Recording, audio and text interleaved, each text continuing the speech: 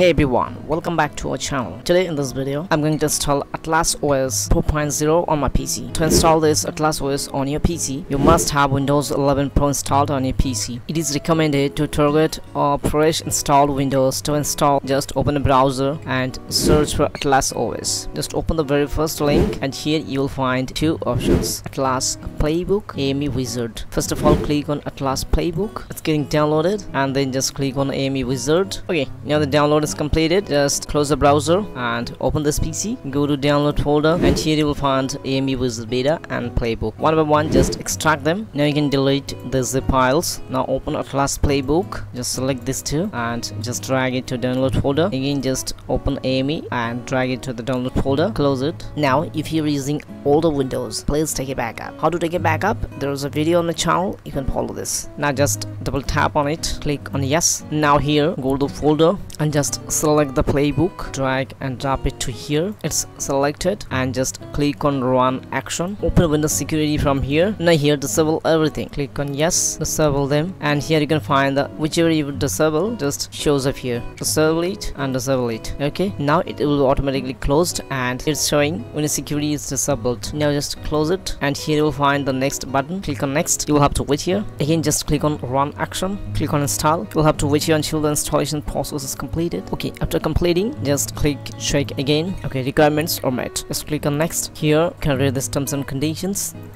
also from here. And just click on next and click on agree. From configuration just select options. And it's, it's recommended to enable the defender. Click on next. Here also keep the defaults. Click next. Click again next. If you want to disable printing you can also. I don't want to disable the bluetooth. And check it. Click on next. And here disable Hibernate you can also choose from your end. Now after everything selected click on ok then click on next and here it will take few minutes. You will have to wait here. Okay now you can find that playbook is completed. Now just close it. And here you can see the atlas is here. And you can see the menu is fresh. And there is no bloatware atlas was successfully installed on your pc thanks for watching. I'll catch you in the next one